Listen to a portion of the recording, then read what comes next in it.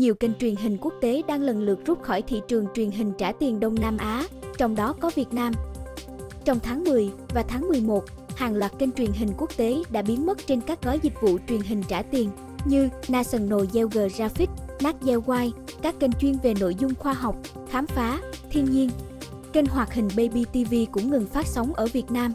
Cả ba kênh trên đều thuộc sở hữu của The Walt Disney Company Đông Nam Á và phân phối tại Việt Nam. Amazon Prime cũng ngừng cung cấp dịch vụ video tại Việt Nam. Trước đó, 12 kênh truyền hình thuộc quyền sở hữu của Disney Network Group Asia Pacific Limited cùng với hai kênh truyền hình thuộc quyền sở hữu của Buena Vista International Inc. cũng ngừng phát sóng tại Đông Nam Á, trong đó có Việt Nam. Khoảng trống mà các kênh này để lại sẽ là cơ hội cho các website lậu, vi phạm bản quyền, thu lợi bất chính lộng hành khi mà nhu cầu được xem thể thao, xem phim, nghe nhạc của người dân là rất lớn. Theo Simila Web, tại Việt Nam, có hơn 200 trang web bóng đá lậu với 1,5 tỷ lượt truy cập trong năm 2022, 200 web phim lậu với 120 triệu lượt xem mỗi tháng.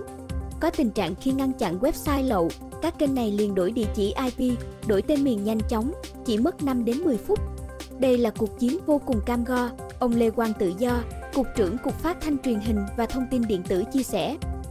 Theo Thứ trưởng Bộ Thông tin Truyền thông Nguyễn Thanh Lâm, vấn đề vi phạm bản quyền gắn với tội phạm có tổ chức thời gian qua không đơn giản chỉ là hình thức livestream lên mạng mà còn gắn với tội phạm lừa đảo trực tuyến, cờ bạc trực tuyến, cho vay nặng lãi để cá cược bóng đá. Việc rút đi của các kênh truyền hình quốc tế cũng là cơ hội để cho các kênh truyền hình trong nước có thêm khách hàng. Nhưng nếu người dân tiếp tục ủng hộ các website lậu, các doanh nghiệp cung cấp dịch vụ chính thống sẽ không mua nội dung bản quyền với chi phí cao nữa, điều từng xảy ra trong quá khứ. Khi đó, người dân cũng sẽ bị thiệt thòi.